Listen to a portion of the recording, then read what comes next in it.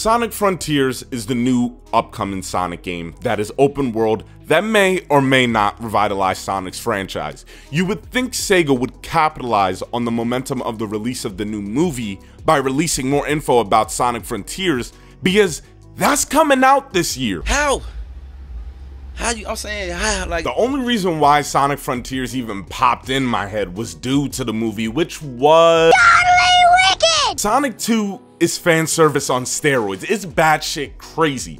It really made me love and appreciate Sonic and the characters again because it's been a while. I want to see a Sonic Adventure Battle 3. Nah, nah, nah. A, a Sonic Heroes 2. Fuck it. Even a Sonic Riders. I just want a good Sonic game again. His stock has definitely dropped due to how Sega terribly misused him and the universe.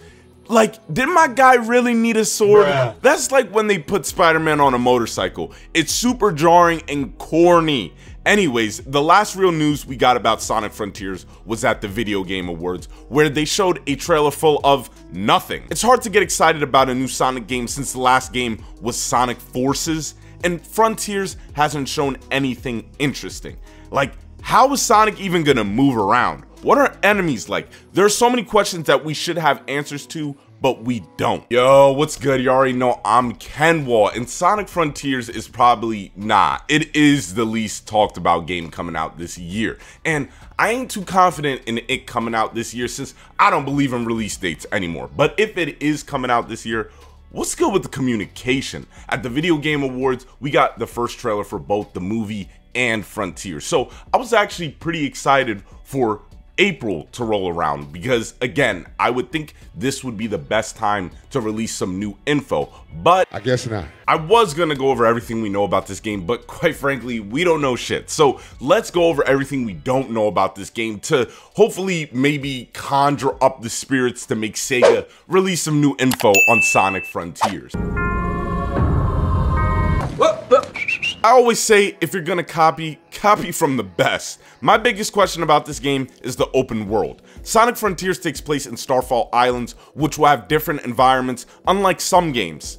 That's all we know about the open world. As we all know, open world is a big endeavor. It has to have a lot, and most importantly, it has to be meaningful. I wonder what's going to be in Starfall Islands. Are there going to be side quests? And if there are, how will that work? Since it looks like this game, like many others, takes inspiration from Breath of the Wild, I wouldn't mind if they did it similar to that. The development of Frontier started as soon as Forces was done, so that means they have been working on this game for a good amount of time. So I hope they really took time to put necessary game systems in the open world. Another key thing that makes most open world games great is exploration. This is one of the reasons why Elden Ring is mopping the floor on these other open world games.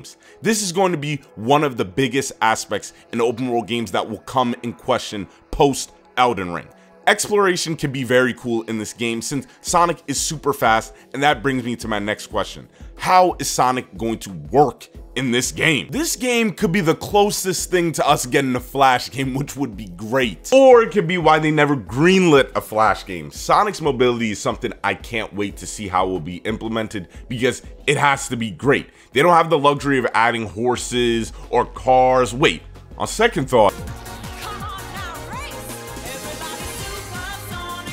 At least that would make a little bit more sense than Sonic riding a horse. But seriously, movement has to be taken as seriously as games like Spider-Man and Dying Light since this is what we're going to be doing most of the time. For the most part, we're used to Sonic just running and jumping. Team Sonic's creative officer Takahashi Izukiya has said that there will be new exploration options.